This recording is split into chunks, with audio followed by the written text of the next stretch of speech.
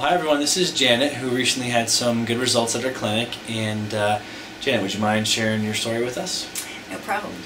Um, I've been going to see Dr. Ruscio for about six or seven months now and when I started out my most severe problem was lack of sleep. It's been 10 plus years that I have not been able to sleep at all. I would go to sleep and sleep for an hour and then I'd be up maybe for the rest of the night or I'd get back to sleep after two or three hours and sleep for half an hour and it's very debilitating. So I've tried everything. I've been to sleep clinics. I've um, tried all kinds of natural and unnatural um, medications and uh, nothing seems to work. I also had uh, severe heartburn uh, with a, kind of a knot in the chest type feeling as if mm. I thought I was having a heart attack.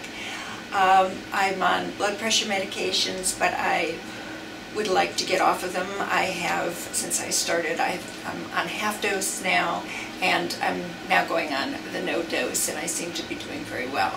Also had lots of joint pain. If I were sitting on a plane or gardening or something like that, I could barely move after a short period of time. Also had a low energy slump in the middle of the afternoon where I just was so tired I couldn't go on and I would go to lie down and then of course I would be wide awake, so that wouldn't work either. So when I started seeing Dr. Ruscio, he did some testings and found out that I had a very severe case of Hashimoto's. I had been on thyroid medication, but this was never detected before. I also have anemia, a fungal growth in my intestines, and a hormonal imbalance, which I kind of figured I did have.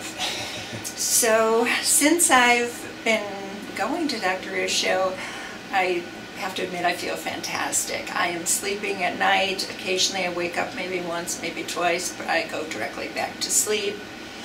Um, as I say, I'm, I'm almost off my blood pressure medications and seem to be doing well with that. Um, my heartburn has subsided. Uh, my energy is is wonderful. Uh, it'll be like five or six o'clock now. We realize, wow, I haven't been tired all day long, and it, it's very, very nice. And um, the thyroid problem is seems to be in check. So basically, I'm just very pleased that we could do something with the cause of problems instead of just putting a, a band-aid on with medications, and it's been very successful.